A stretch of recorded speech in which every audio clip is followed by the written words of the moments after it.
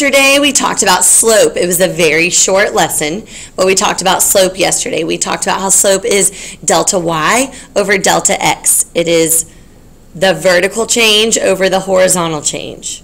It is rise over run. All of those things we think of when we hear slope. So if we've got a skateboard ramp, and those are the coordinates of the very bottom and the very top, then what would be an estimate of the slope of the skateboard ramp? And that would have to be assuming that it was linear and it wasn't curved like that. So we'll do our best guess of the slope since it does have a curve and it's not perfectly linear. So do you see how in this warm-up, and sometimes the problems that the district comes up with, sometimes they do that too, or they get them from an released EOC or whoever writes these. Sometimes they do a similar thing. They tell you something like, it has a height of seven feet and a horizontal run of two feet to five feet. And you're like, ooh, that sounds kind of complicated. But then you look at the picture and you realize, oh, they already put all that data in the picture. So it's kind of redundant. So you didn't really need to worry about what was in the wording. Not that I'm telling you you don't need to read things. You still need to read it. But it was a little bit redundant. And so um, I still recommend that you circle your X's and underline your Y's. I'm sorry if you think that I'm babying you.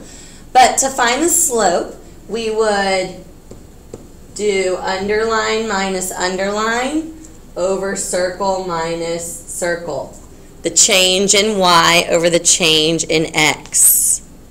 Whichever coordinate you start with, if you start with the 7, then you have to also start with the 5. So just make a note of which one you start with, okay?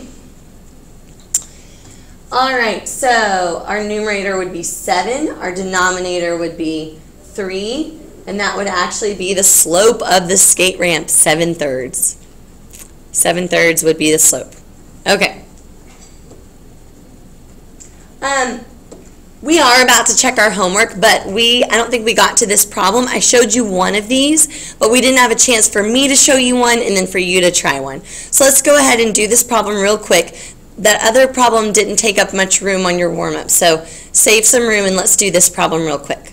A line with a slope of 5 fourths passes through 813 and x negative 7. Find the value of x. All right, so we would set this one up. It's kind of like yesterday where we were talking about like, I gave you the answer and I'm kind of asking for the question. It's almost like Jeopardy. So we know the answer. The cat is out of the bag. It is 5 fourths. 5 fourths is the slope. So now we just set up our equation for slope. y minus y over x minus x. And then we clean it up and we cross multiply. So when we clean it up, we have 5 fourths equals, what is that, negative 20 And I was talking about yesterday, if you can use number sense and just go like, oh, 5 times negative 4 is negative 20. So 4 times negative 4 is negative 16, and you figure out what x is doing that, that's fine. It, it might not always work out that pretty, but what you can definitely always fall on is cross multiplying. So 4 times negative 20 is negative 80. And 5 times x minus 8 would be 5x minus 40. So you would add 40 to both sides. So negative 40 equals 5x. divide by 5. Who got negative 8? Did y'all get it right? Yes? Yay! Let's check our homework. Slope of a line worksheet. There were 20 problems. I hope you tried the stuff at the bottom.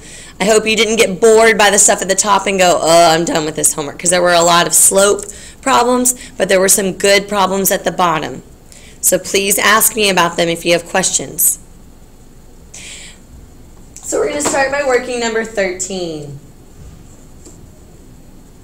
Oh, sorry, enable editing. Okay. 13. Find the missing coordinate. Oh, we just kind of did this a few minutes ago, but I'll do it again. Um, so we know the slope and we know the two of the coordinates and we just need to find the question mark. What letter is the question mark? Is it X or Y? Definitely X. So we just pretty much did one like this. Slope says y minus y over x minus x. I put an x there. Okay? So we've got negative 4 thirds equals, this is kind of nice, because x minus 0 is just x. Lars, what's the answer to this question?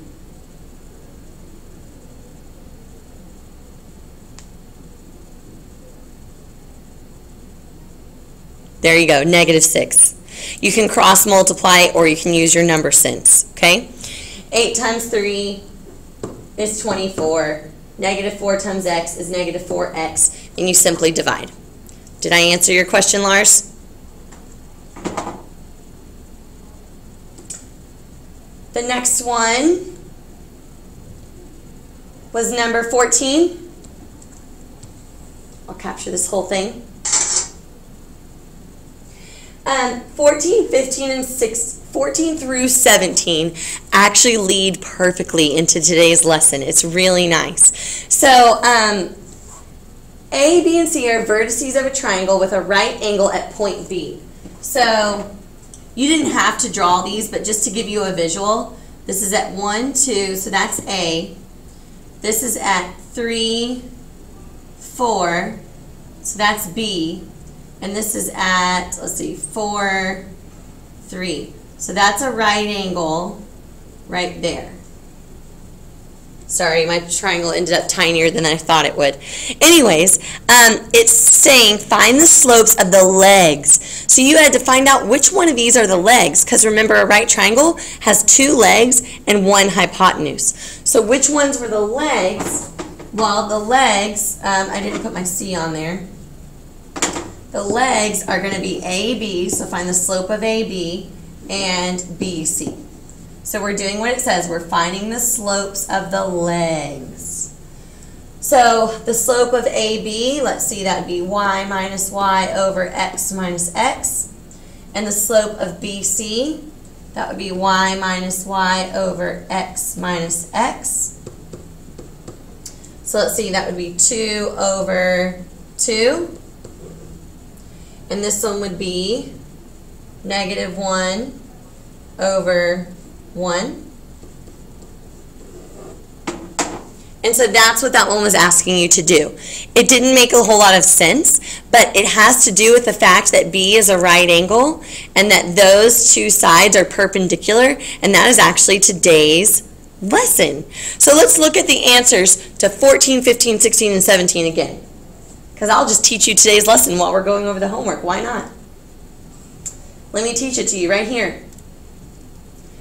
What do you notice about 1 and negative 1? About 3 and negative 1 third? About 2, negative 2 and 1 half? About 3 halves and negative 2 thirds? What do you notice about the answers to 14, 15, 16, 17?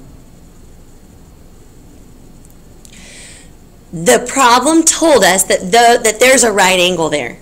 And it wanted to find the slope surrounding that right angle. So I'll take 17 as probably the best example. So in 17 it was saying, okay, there's for sure a right angle at B. And the slope of one of them is 2 thirds, and the slope of the other one is negative 3 halves. And you probably learned in algebra that those slopes are called opposite Reciprocals, very good. I see you typing that. Those are called opposite reciprocals. So when two lines are perpendicular, aka they form a right angle, their slopes are opposite reciprocals. And that was actually what we were going to discover in the notes today, but you already discovered it through the homework. And so that's a wonderful lead into our lesson.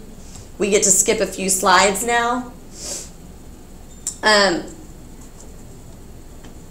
so that's the parallel slide. But let's go ahead and look at the perpendicular one real quick. Instead of taking time to count the slopes, we already figured out that if two lines are perpendicular, their slopes are going to be opposite reciprocals. Their slopes are going to be opposite reciprocals. So that's our conclusion. Perpendicular lines, their slopes are opposite reciprocals. Now, the opposite of being perpendicular is being parallel. So if we look at this side right here, if you were to count the slopes, I was going to have us count the slopes and write them down and compare them, but I don't want to waste our time for the quiz. One, two, three, one, two, three, four. Okay, so the slope is negative three fourths. Then you would count this one and you'd be like, oh, the slope is negative three fourths. There is no difference in their slopes at all.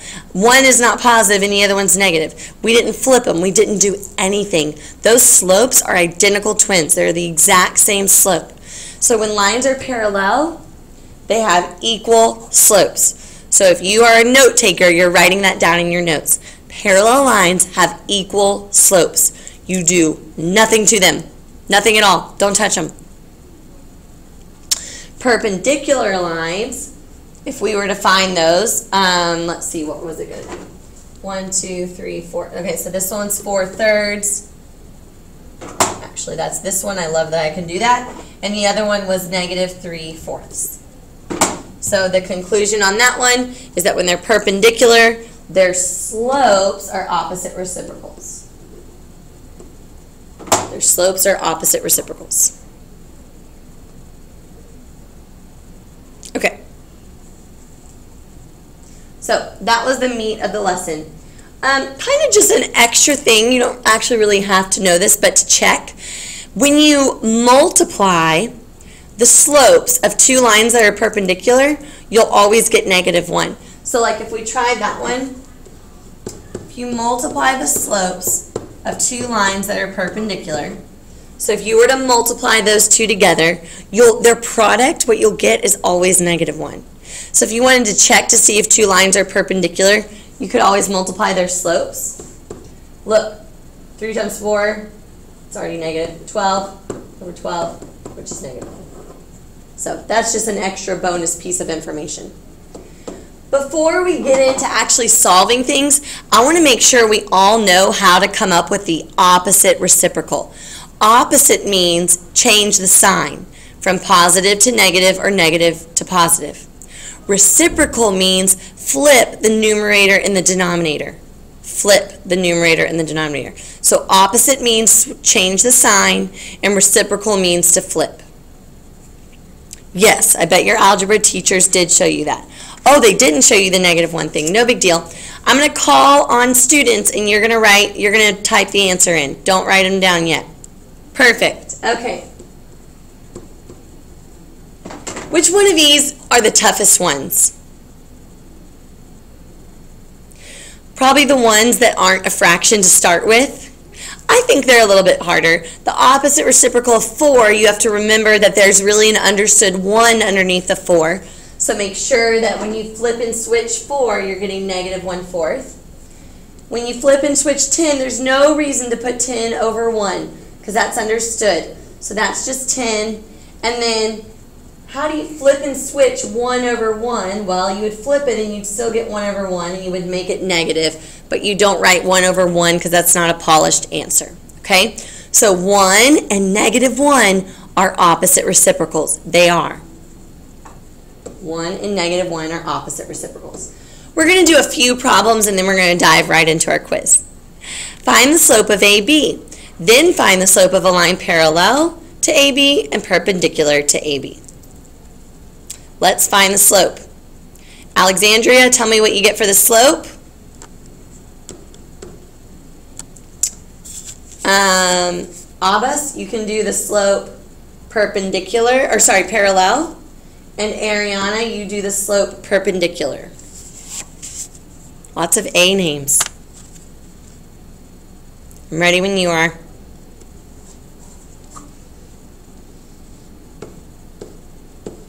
Y minus y over x minus x.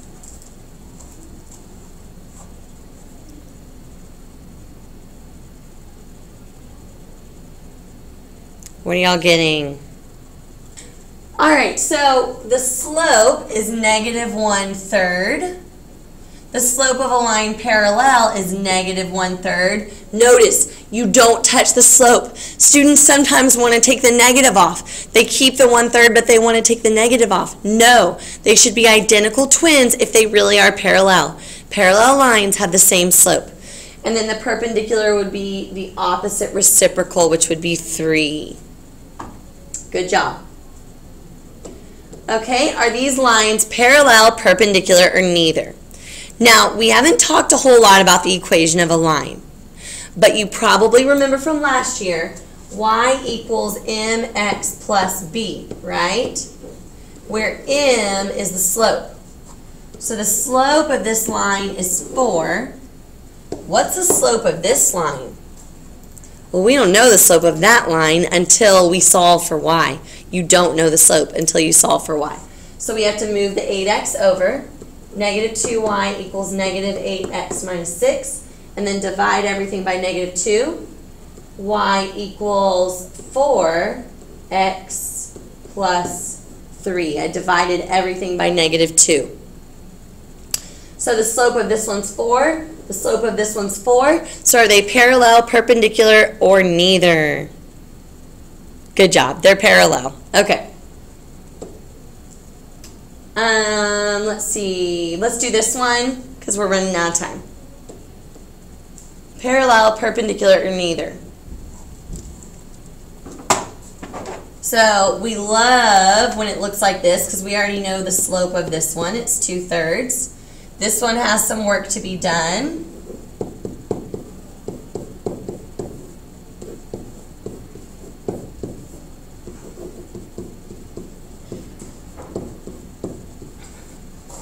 So the slope of the first one's 2 thirds. The slope of the second one is negative 3 halves. Very good. So they are perpendicular. Remember that's the symbol for perpendicular. Okay, last problem. Yep, last problem, and then y'all can start your quiz. Find the value of x so that the line through x3 and 2, 6 is perpendicular to the line through 0, 2 and 6, 6. Whoa.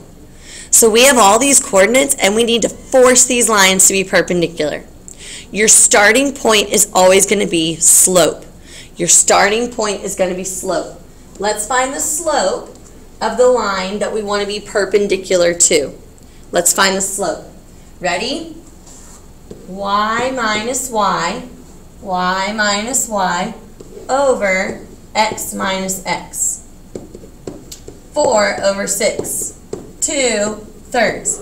Now we want to be perpendicular to 2 thirds. So what slope do we want to have?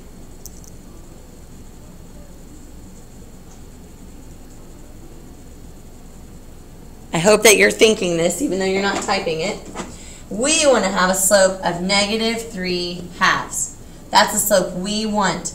So now we're going to treat this problem like I already worked from the homework, like we already did after the warm-up. We've already done problems like this. It needs to go through these two points, and it needs to have a slope of negative 3 halves. So y minus y over, I didn't mean to put my x last, x minus x, and then you just cross multiply. Okay? To give you time, I'm going to stop right there. I'm not going to solve for x, but I set it all up for you.